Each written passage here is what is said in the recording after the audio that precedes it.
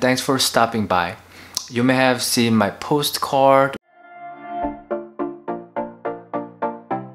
on the internet or maybe YouTube. I wanted to share with you how I approach the homes that that did not sell. It's called expired listing.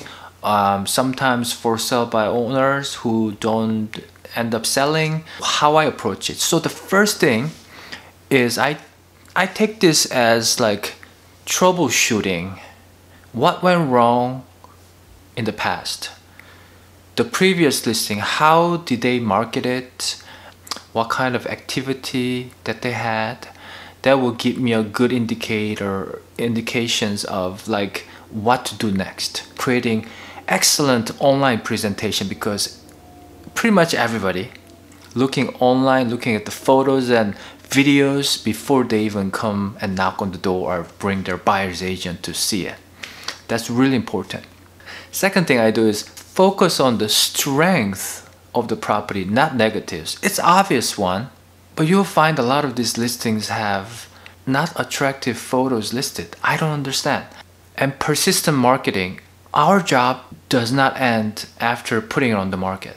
There's going to be like constant monitoring of the activity getting the feedback from the showing agents and making necessary adjustments so that the next buyer when they walk in through the door that problem hopefully it's something that we can solve. If not we'll have to find something else. Persistent marketing and making that necessary adjustment too.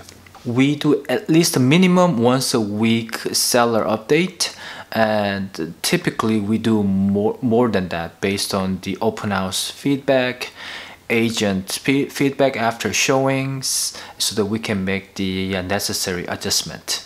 And then the other thing is i turn every stone. So we're we cover every facets of the buyer's traffic. So we don't left out any buyers, any potential buyers. Network with the top selling agents in the Portland market uh, because you know a lot of times they're the one who bring the buyers for our listing. So I make it super easy for them to show.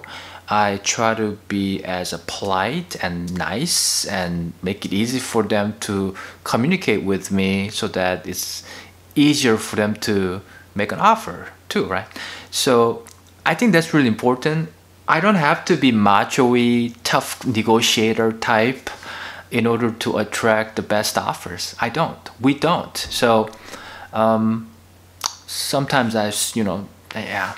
Um, I just try. I just try to be nice to the other co-op agents, and that's going to benefit my clients. And I've been selling since 2008. I've been through the market crash. Um, it was tough time for a few few years to but I learned the ropes during that time and I believe that really benefited me uh, to become a better realtor. The last thing is our commitment to provide excellent customer service. We want to do better tomorrow than today.